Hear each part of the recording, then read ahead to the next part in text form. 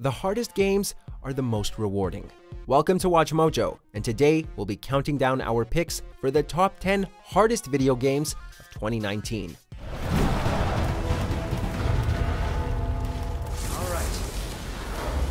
For this list, we're looking at games that released in 2019 that are either difficult by default or can be made much more difficult through additional mods, challenges, etc.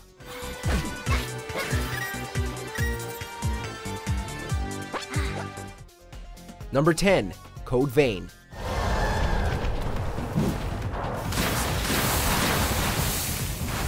Described everywhere as Dark Souls but anime before its release, Code Vein did not disappoint where the difficulty was concerned. Players should brace themselves for hours of trial and error against the game's many bosses, learning attack patterns, and what the best weapons and gift combos are to take them down.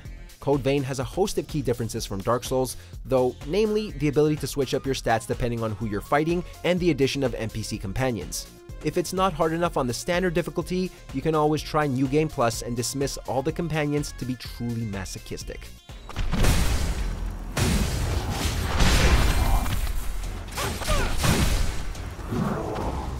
Number 9. Cadence of Hyrule.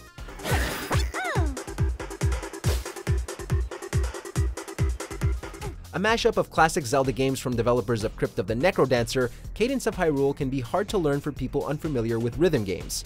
A series of large and dangerous puzzles disguised as an open world make up most of the gameplay, with enemies and the player all bouncing around the screen and striving to stay on beat.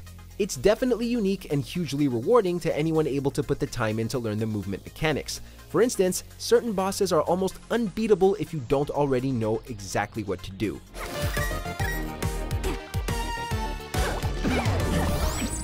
Number 8. Devil May Cry 5.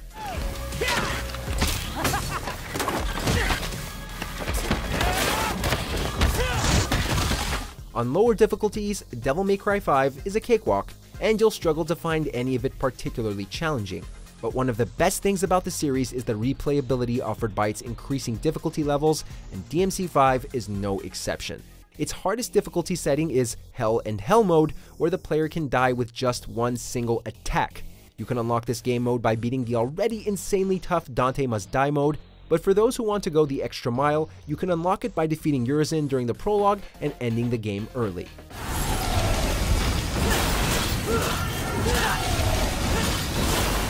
Number 7. Bloodstained Ritual of the Night.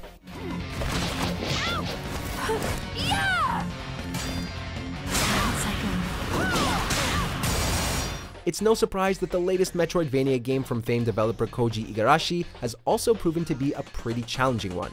Bloodstained has everything you want from a title like this. Well-designed levels, great graphics, and randomized loot drops giving you tons of replayability. And it's also got a fair few difficulty options for people used to the grueling difficulty of old school Castlevania, the crowd who say Symphony of the Night was too easy. If you too think Bloodstained is too much of a breeze on standard difficulty, playing it through concurrently unlocks a new setting each time, all the way up to Nightmare Mode.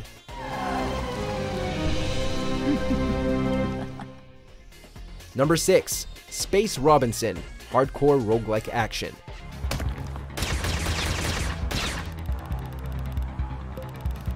Frustration is the name of the game when it comes to Space Robinson, but don't worry, that's all part of the fun. If you decide to take the plunge and journey to Colony 21, all that awaits is death, death, and more death, since everything in these procedurally generated levels is out to kill you. The more you die, the more you learn, and the longer you'll hopefully live on your next go around. Thanks to the procedural generation Space Robinson and other roguelikes share though, you'll always have new levels waiting for you every time you respawn, and your gear carries over as well.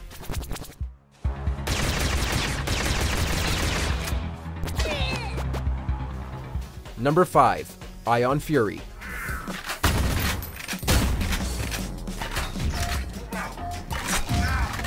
If you're still fuming from the delay of Doom Eternal, but want something a bit newer to get you through, Ion Fury is a perfect retro shooter to indulge in. It's got all the hallmarks of a 90s Doom clone, and it removes all the modern luxuries we take for granted in games today, regenerating your health for instance. Amp up the difficulty and enjoy the carnage of the game's brutal enemies, old school animations, and endearing aesthetic. It's the perfect game for any fan of hardcore FPS action.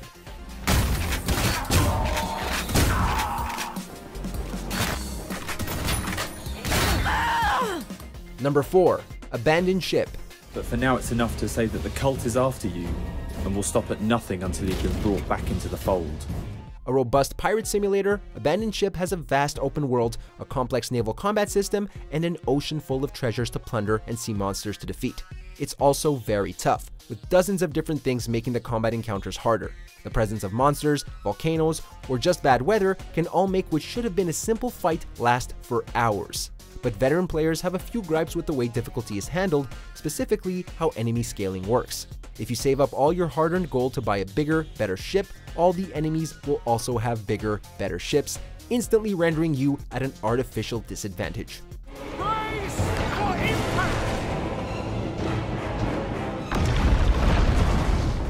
Number 3. Blasphemous.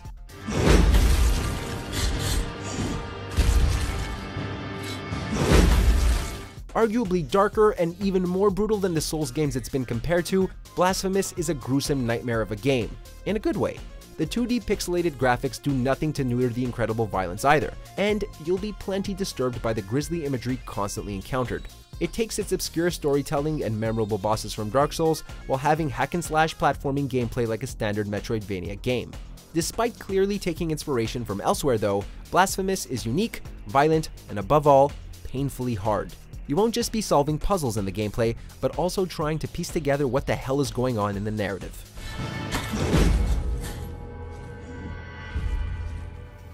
Number 2. Dauntless. We'll choose our own path.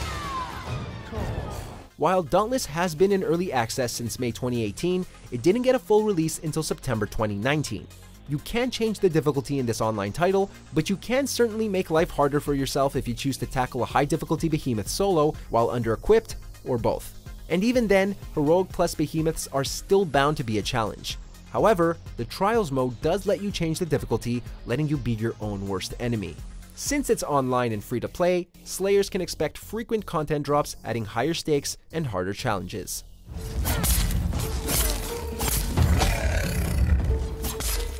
Before we continue, be sure to subscribe to our channel and ring the bell to get notified about our latest videos. You have the option to be notified for occasional videos or all of them.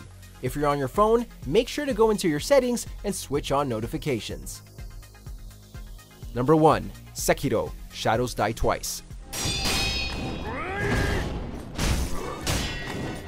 From Software is synonymous with extreme difficulty, and their latest release was no exception, leaving even the best Souls veterans struggling at certain parts. Sekiro added a unique posture mechanic to its combat, meaning that hanging back and waiting for the opportune moment to strike wasn't in the cards. Instead, players have to be constantly on the offensive, attacking repeatedly to reduce posture in order to hit a decisive blow. Painful as this was to learn, the game is just as outstanding as its siblings, featuring incredible graphics and some of the best enemy variety and design of any modern title.